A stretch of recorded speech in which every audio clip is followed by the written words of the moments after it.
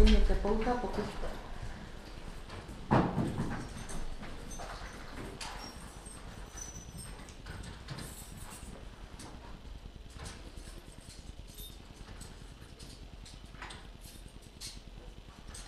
Takže poslyšte rozsudek jménem republiky.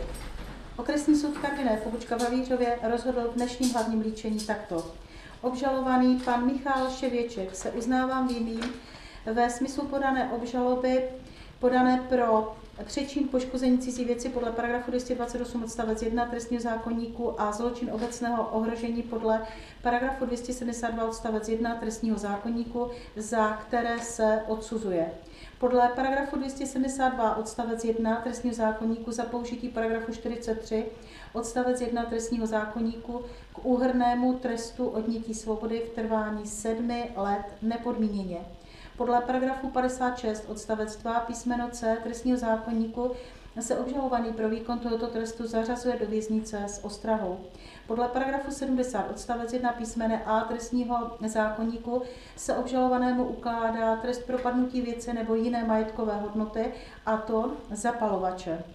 Podle paragrafu 228 odstavec 1 trestního řádu je obžalovaný povinen zaplatit způsobenou škodu poškozeným technickým službám Havířov ve výši 6804 koruny, Petru Folvarčnému ve výši 65 000 korun, Petru a Stanislavi Zahradníkovým 4856 korun, Aleně Ryšavé 3919 korun, Josefu Šlohauserovi 5969 korun a společnosti RPG byty 146 837 korun. Podle paragrafu 229 odstavec 2 trestního řádu se poškození technické služby Havířov, Petr Folvarčný, Petr a Stanislava Zahradníkovi, Alena Ryšava, Josef Schlohauser, RPG, byty, odkaz. Tedy úmyslně založil požár v tomto kontejneru, eh, byl, a sezna, byl viděl a se, byl seznámen s tím, že vedle jsou zaparkována osobní motorová vozidla, Eh, samozřejmě, že je notoricky známo, že každé vozidlo jezdí na pohonné hmoty, které jsou hořlavé a tedy byl srozuměn i s tím vzniklým následkem, to znamená, že z toho kontejneru, který začal hořet, eh, vlastně plamen přeskočil na ten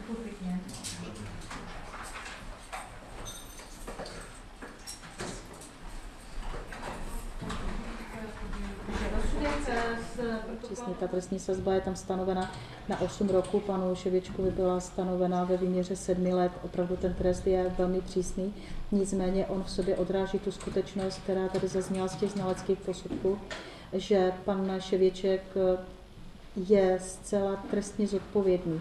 Na jeho straně není, nelze zohlednit jedinou eh, polehčující okolnost ve smyslu eh, trestního zákona, trestního zákonníku, promiňte, ale zejména znalci se přiklánějí k tomu, že je zcela psychiatricky a psychicky zdrav, jak tady již zaznělo, eh, že vlastně toho jednání eh, on se eh, vlastně systematicky dopouští.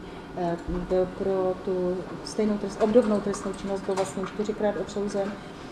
Jak jsem tady již četla, v jednom rozsudku byl, založil 20krát sice drobné požáry, nicméně znalci hodnotí toho, toto jeho chování tak, že se nejedná o chorobu, poruchu, ale o povahový rys a jak tady již zaznělo, konkrétně cituji, že tímto jednáním se baví.